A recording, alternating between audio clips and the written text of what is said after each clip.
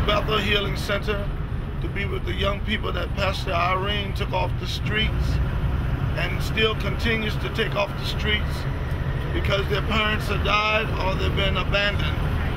We're going to go there and have vacation Bible school with them. And then like Christmas, we're going to gift them with many things like soccer balls and shoes. It's going to be a great time.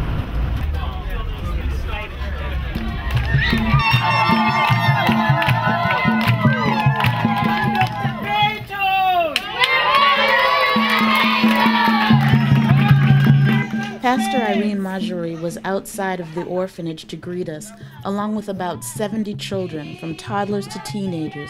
They sang songs of praise, glorifying the Lord.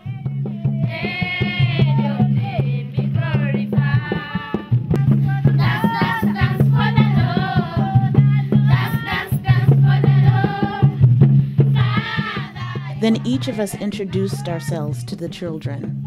Hi, my name is Barbara. Oh, yeah, Barbara. And I work for transportation. I'm a supervisor.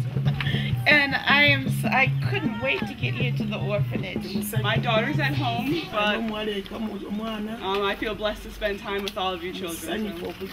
I never felt so loved as I did last night when I held that little girl.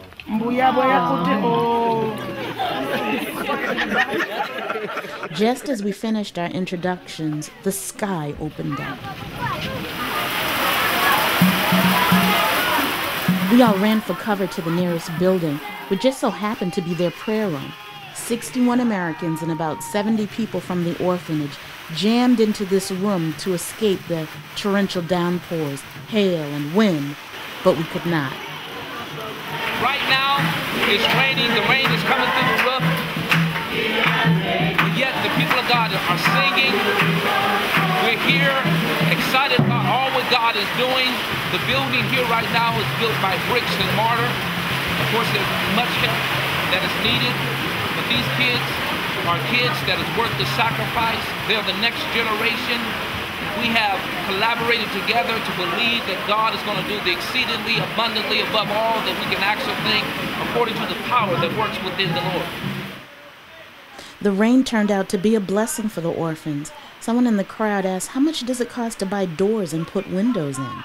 Pastor Irene said the doors were $50 and the windows 25 The next night at Pastor Irene's church, we raised more than $2,000 for windows and doors for the orphanage. By now, the rain died down and it was time for lunch. Pastor Irene shows us the new kitchen. Three women cooked over a wood burning stove with mud from the rains all over the concrete floor. Pastor Irene served the children their meal of beef, beans, cabbage, and boiled plantains. They prefer to eat beans. Seeing the children without shoes, very little clothes, and it was cold and damp. And how blessed we are in America. And with the abundance we have in America, if we could just take the, whatever we have, the extras that we have, and provide it to those children. There's many of us women in particular that just want to hug those children and nurture them at that moment. They taught us something. I've never seen anything like it. I know that we're going to see many of them rise to high heights in life.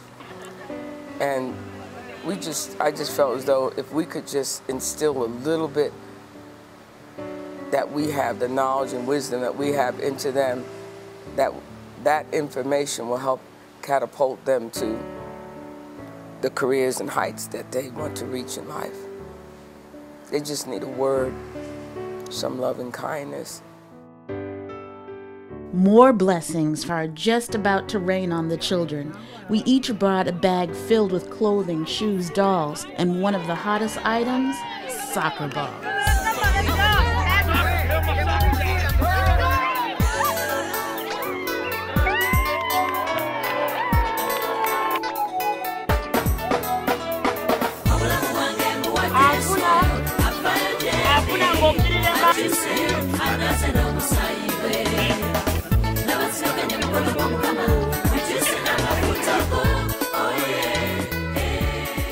After the rainstorm, then we started to pass out the bags. It was item, um, clothing items, it was shoes, and it was just amazing to see the excitement from the children. Um, it was like we were giving out gold. It was actually like we were giving out gold, and it was just so touching because, my, these children, you know, they have nothing, and but they're so appreciative. The Lord spoke to me and said, They are my lights into the heavens. I am pleased with them. And I'm pleased with Pastor Irene and snatching them from death off the streets as they were dying of AIDS. And then it just gripped my heart. And inside something said, which I know is the Holy Spirit, you must help her.